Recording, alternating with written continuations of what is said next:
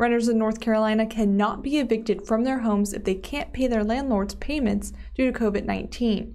But first, they must meet a series of steps to get those protections. It's actually, well, it's a federal crime. Under the CDC order, if, if a landlord violates that order, if they try to evict the tenant, Isaac Sturgill is an attorney for Legal Aid North Carolina. He says renters are being evicted across the state illegally. Early in the pandemic, Governor Roy Cooper signed an executive order to stop evictions. More recently, the U.S. Centers for Disease Control issued its own health based order to stop evictions, citing financial stress and potential exposure to COVID. But evictions are still happening.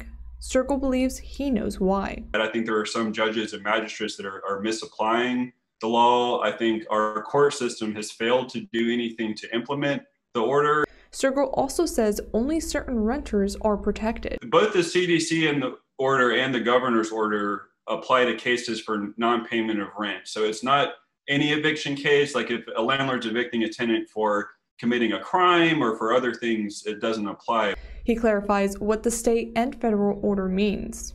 What they both essentially say is that, hey, if you're a tenant and you've lost income, if you're out of work due to COVID, um, you should be protected from eviction right now. He says keeping people in their homes slows down the spread of COVID.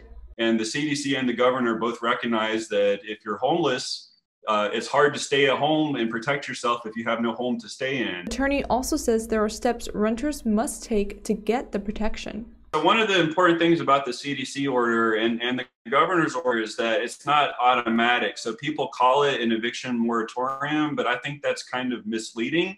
A moratorium means it shuts down court systems from hearing eviction cases, but eviction cases are still being heard by North Carolina judges. It's up to renters to take the first step to protect themselves by acting on what courts call a declaration. They have to read it, they have to make sure it applies to them. There are certain qualifications like you have to make under $99,000 a year. Once tenants read the declaration and meet the qualifications, they have to hand it to their landlord to get the legal protection. And our courts have done absolutely nothing to try to make sure that the order is not being violated. And I think that that's leading to uh, you know thousands of families in North Carolina that are being uh, evicted despite the protections that they should receive. Sturgill says renters need to read the governor's order and look for resources to prevent eviction. It, this is a, a, a battle of information, and so tenants have to learn about this order and how it applies to them Sturgill is sharing resources for tenants to use. I have that information on our website at WNCT.com. In Greenville, Victoria Holmes 9 on your side.